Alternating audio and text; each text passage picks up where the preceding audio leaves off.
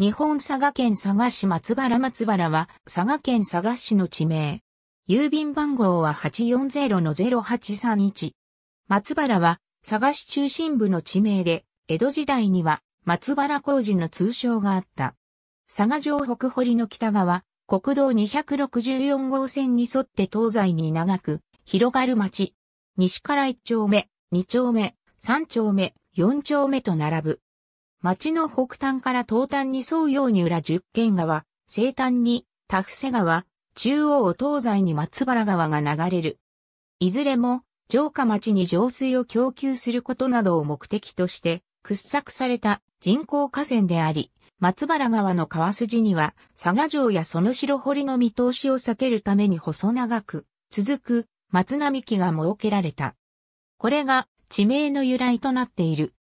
北西から時計回りに中野工事、中央本町、五福本町、柳町、材木、水が、高、木内、堀川町に接する。町の西部は佐賀県警察本部や佐賀中央郵便局、佐賀県自治会館分館、佐賀消防署中央出張所など公的機関が多い。1975年までは佐賀市役所もあり、跡地は、楠風、広場として公園となっている。中央部は、助家神社、松原神社以外は飲食店が多く繁華街となっており、三丁目には昭和天皇の佐賀行幸の際に宿泊地となり、ミシュランガイド福岡、佐賀版で佐賀市内唯一の二つ星を獲得した料亭、洋流亭がある。洋流亭は1882年創業で、当初の屋号は新川崎屋であったが、初代佐賀県知事、鎌田慶筆が、しだれ柳の多かった場所にちなんで、洋流亭と命名したものである。二丁目にはかつて映画館が集中し、東映、日活、東宝、松竹、洋画の裏区会館などが立ち並んでいた。現在は佐賀東宝があったセントラルプラザで単館系の作品を上映するミニシアター、シアターシエマが営業するのみとなっている。東部は住宅や商店も多いが歴史的な建物も多く残り、一部は佐賀市歴史民族館として整備されている。面積は約0.24平方キロメートル。平成27年住民基本台帳による世帯数及び男女別人口は以下の通り。長古館松原工事は佐賀城下の武家屋敷地。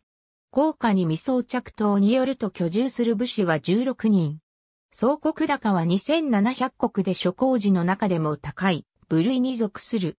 人材育成を目的に設置された藩校行動館や藩祖、鍋島直重を祭神とする松原神社は八代、藩主、鍋島春重によって建てられた。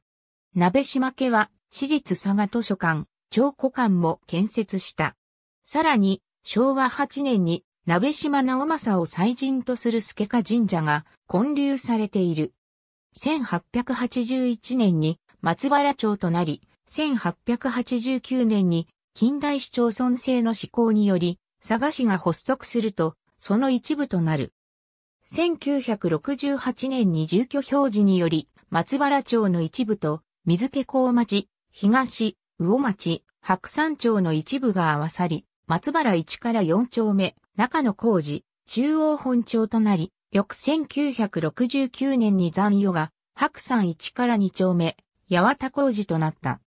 松原2丁目の町古館を運営する、鍋島法、伊佐会が戦後、神社西側の土地に引き上げ者を受け入れると市場が開かれ、松原マーケット、松原新羅市場と呼ばれる商業地区が成立、発展した。戦後の混乱期であったことも影響したのか一部は風俗店になってしまい、一時は神社敷地内にストリップ劇場が存在する異様な光景となっていたが、中心市街地の空洞化に合わせて店舗は減少。さらに、木内公園の整備構想が立ち上がったことで、地権者の鍋島法、伊佐会は、マーケット内の店舗が閉鎖した場合、借地契約を更新しないという対応をとっている。そのため商店はかなり減少しており、市場の零細業者による佐賀企業組合も2014年に閉所されている。また松原4丁目には同じく引き上げ者が、借地に開いた闇市をルーツとする、ことぶき通り商店街があった。こちらは1980年に借地を購入し、80年代のバブル期までは賑わっていたが、景気交代や郊外への大型商業施設の進出などで客足が遠のき、2017年に閉鎖、解体されている。松原カッパ社と松原川松原川には、カッパ伝説がある。河川の工事を命じられた奉行、兵部大輔は、不足する作業員を補うため、人形に呪いをかけ、働かせ工事が終わると、また人形に戻し川に投げ捨てた。これを憎んだ人形はカッパに姿を変え、特に兵主部の一派は子供を川に引きずり込んで、多くの命を奪った。そのため、上主鍋島藩主、鍋島直重は、淀姫神社に願をかけ、兵主部を捕らえることに成功した。兵主部は元の人形に戻してもらえれば、今後は子供たちを守りますと頼み、以来、子供たちを水難より守っている、というものである。松原神社創建のコロ作と伝えられる、兵主部の木像が松原神社に奉納され、2010年に改めて松原カッパ社を創建し祀っている。この伝説をもとに、松原川にはカッパの親子像が設置されており、長男カッパの手を握ると、石橋から水が噴出する仕掛けも作られている。また、佐賀を中心に活動しているローカルヒーロー、松原イザー系はこの兵士部の子孫という設定となっている。1871年、税の納め方が米で納める米納制度から金納制度に変更されると、米国を換金するために米国相場を立てる米国市場が必要となった。佐賀でも一旦設立された市場が3年と持たずに閉鎖されるなど、右余曲折の末、馬、攻め馬場の鍋島家所有地を借り受けて1888年に佐賀取引所が開設された。さらに1893年に改正取引所法が交付されると、佐賀取引所を母体に新たに佐賀米国取引所が設立された。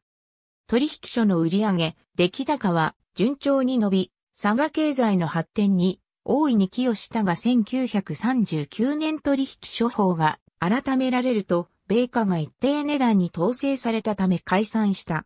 松原町出身で日本最初の女性科学者、黒田千佳は、父が取引所の理事を務めていたことがある。南端に国道264号線が東西に走る。